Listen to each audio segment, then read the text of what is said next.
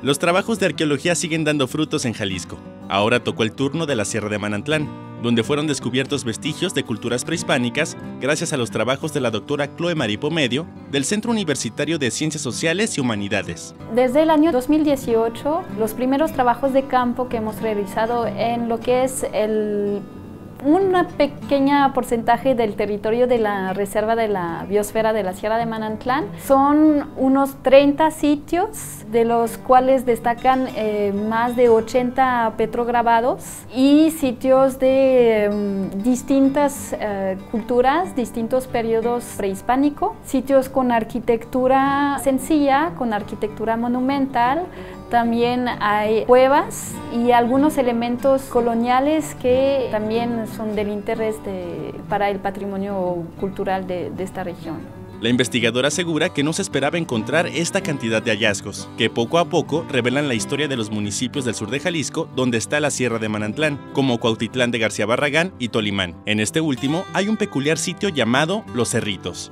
Los Cerritos es un sitio muy interesante porque es a la vez el sitio más antiguo que hemos encontrado. Se caracteriza por un conjunto mm, arquitectónico monumental eh, compuesto de ocho montículos eh, ordenados cardinalmente ah, con un pequeño altar central. Se encuentra al límite de la reserva en el municipio de Tolimán, al borde del, del río Armería, en un paisaje absolutamente majestuoso entre lo que es Cerro Grande y las faldas del Nevado de Colima. En el lugar, el equipo de trabajo de la investigadora ha encontrado cerámicas y puntas de obsidiana, lo que hace pensar que este fue un lugar de encuentro entre las culturas de Colima y la de Teuchitlán en la región Valles de Jalisco. A propósito de su rescate, la doctora realizó gestiones con el municipio y el dueño del terreno donde están los cerritos para evitar que ésta fuera destruida, ya que ahí se pensaba sembrar agave. Solamente hemos recorrido apenas un, mm, ni siquiera un 10% del área de la reserva.